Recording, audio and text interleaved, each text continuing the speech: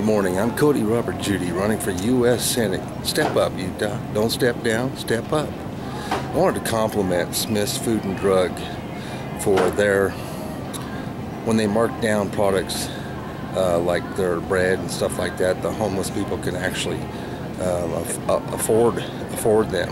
As you can see, and this is a markdown example of their prices on markdown foods stuff.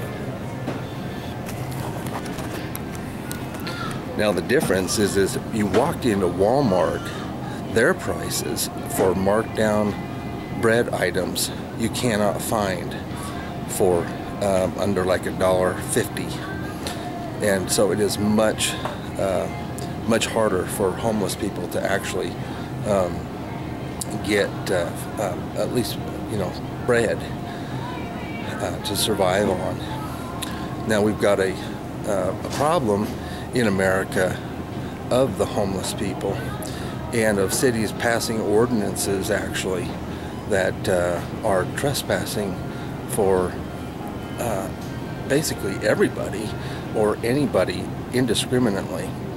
and so these things need to be changed. Uh, the Ninth Amendment of the Constitution of the United States uh, elaborates on rights that are not enumerated in the Constitution.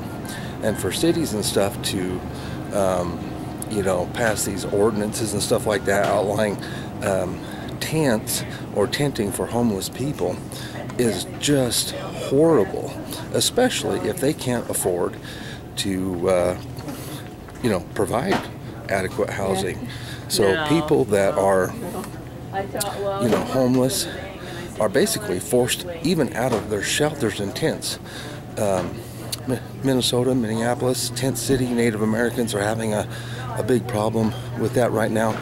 I'm calling for a uh, an inspirational conference for um, to solve this problem. And um, I know it's a big problem, and but I know there's common ground and there's inspiration that can be had uh, for all. And so I just wanted to advocate that problem and compliment Smith's Food and Drug for their marking down, um, you know, their discounted bread prices uh, much more than Walmart. Thank you. Step up, Utah. Don't step down. And write in Cody Judy, U.S. Senate. Thanks and have a good day. It's October 25th, almost election time.